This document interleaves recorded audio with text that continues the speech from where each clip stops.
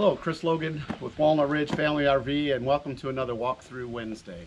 Hey, we're out with the um, 2020 Raptor 423 and um, fully featured six-point hydraulic level up, 55 watt Onan generator, two 30 gallon fueling 30 gallon fueling stations and um, just a great looking coach. This is one of the few um, toy haulers out there that's got a full outside kitchen. You've got a grill here, put your pots and pans on there if you want.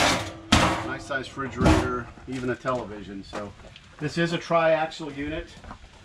Let's go in the garage.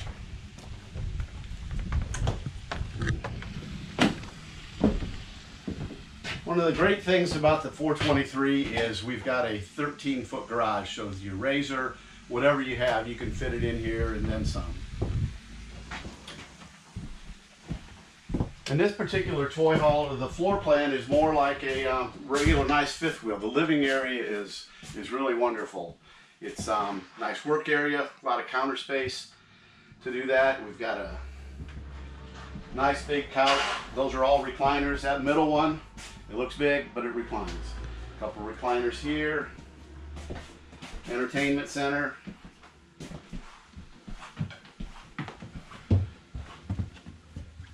Got a great bedroom. Really, really easy to get around on both sides. Electrical outlets on either side.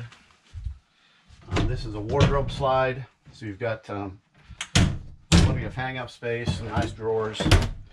In the bathroom, it's just a um, nice full stand-up shower, commode, everything's here that um, you would need.